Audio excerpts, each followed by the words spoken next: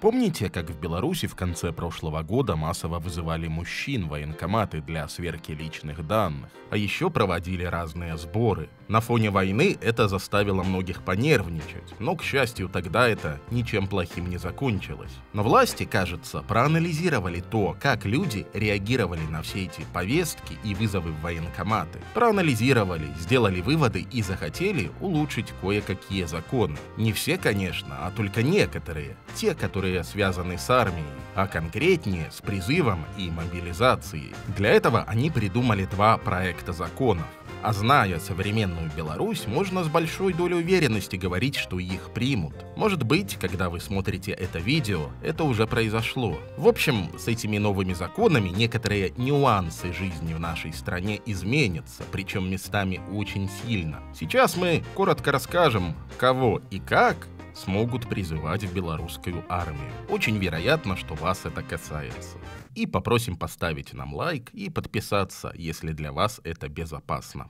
Раньше, если в военкомате хотели, чтобы вы туда пришли, вам присылали или вручали повестку. Вот такую, на бумаге. А теперь это будет необязательным действием. Один из двух новых законопроектов предусматривает, что повестку вам смогут направить по СМС. И это будет то же самое, что и классическое, бумажное. По СМС вас смогут призвать и на мобилизационную подготовку, и даже на мобилизацию, если вдруг ее объявят. А вы будете обязаны явиться. А если вы этого не сделаете, то вас могут наказать. Причем наказание, согласно уже другому проекту закона, усиливается. За уклонение от призыва теперь смогут давать не два, а сразу три года лишения свободы или химии. И штрафы тоже вырастут, притом значительно. За неявку на мероприятие по призыву до 30 базовых величин, то есть 1110 рублей, а за нарушение обязанностей по воинскому учету до 25 базовых, то есть до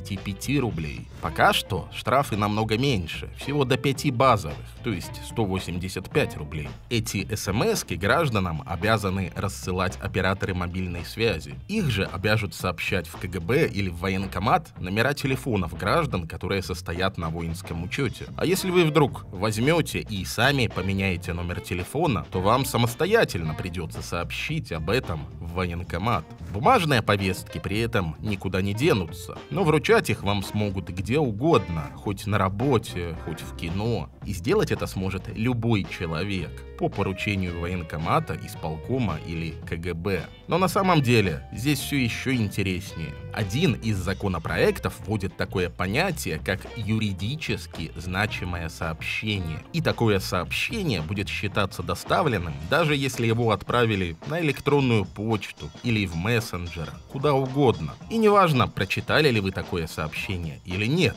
по умолчанию будет считаться, что раз сообщение отправили, то оно доставлено, и вы обязаны сделать то, что хотят власти. Уклониться будет невозможно. Можем предположить, что эту практику подсмотрели в России, где с недавних пор тоже появились электронные повестки, от которых точно так же нельзя скрыться.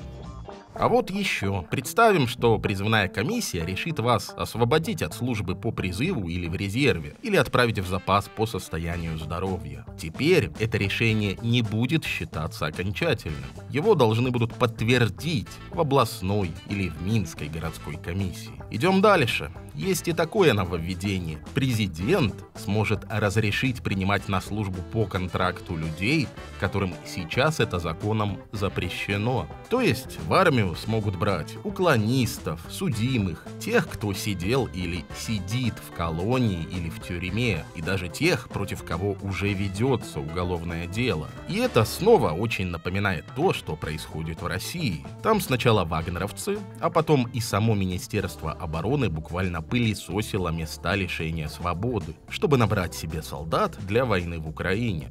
А вот еще. Планируется, что если в Беларуси объявят мобилизацию, а вы значитесь как временно негодный к военной службе в военное время, то никакой отсрочки вам не положено. Сейчас она предусмотрена на полгода, а потом ее не станет. Скорее всего, если объявят мобилизацию, вам придется проходить комиссию повторно. Но и это еще не все.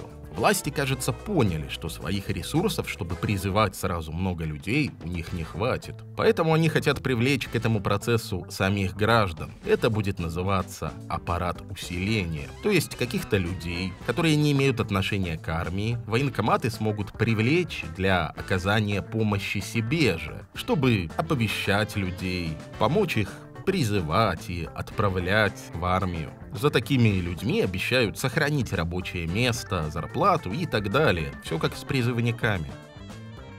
Если такие законы примут и опубликуют, то большинство поправок начнут действовать уже на следующий день. Исключение — это те самые юридически значимые сообщения, от которых нельзя уклониться. Эта поправка, если ее примут, начнет действовать только через год. Вообще, в этом видео мы в целом перечислили только самые основные нововведения, которые планируют ввести власти. В описании мы оставим ссылки. Вы можете перейти по ним и подробно прочитать, что еще хотят изменить. Очень очень важно, если вы находитесь в Беларуси, то перед тем, как нажимать на эти ссылки, обязательно включите VPN.